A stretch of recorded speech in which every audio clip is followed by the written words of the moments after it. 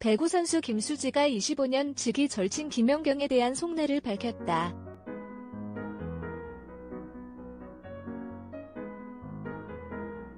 (1일) 방송된 TVN 뉴퀴즈 온 더 블럭에서는 2020 도쿄올림픽에서 4강 신화를 이루며 뜨거운 감동을 안긴 여자 배구 국가대표팀 김수지, 오지영, 양효진 선수가 게스트로 출연했다.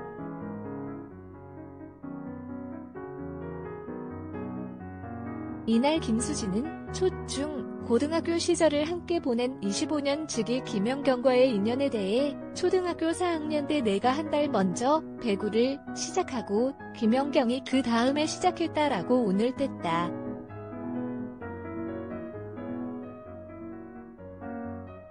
이어 초등학교 시절의 김연경에 대해 성격이나 행동은 진짜 지금과 똑같다라며 단지 다른 건 키다. 키가 굉장히 작았다.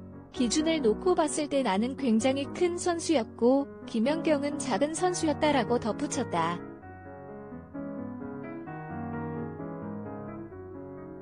오랜 시간 배구라는 같은 꿈을 꾸며 함께 걸어온 두 사람. 그런 김수지에게 김연경은 자랑스러우면서도 안쓰러운 친구였다.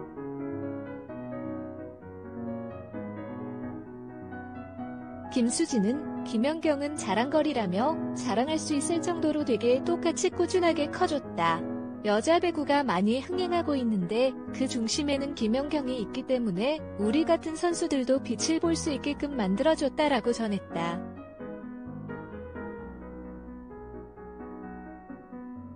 반면 안쓰러움을 느낀 적도 많았다고 그는 외국 생활을 혼자 할 때는 늘 안쓰러움이 있었다. 늘 혼자 헤쳐나가야 되는 게라며 대표팀 생활하면서는 모든 경기나 결과에 대해 본인이 다 감당하려고 하는 것 자체가 많이 안쓰러웠다라고 말했다.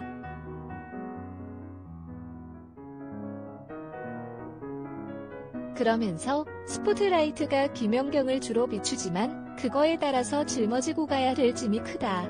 이번 올림픽만 하더라도 걱정하지 말고 가라. 경기가 잘 되든 안 되든 다 그건 나한테 돌아올 거니까 라고 했다.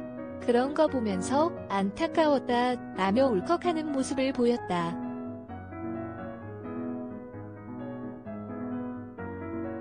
서은의 프리랜서 에디터 허프커리어의 gmail.com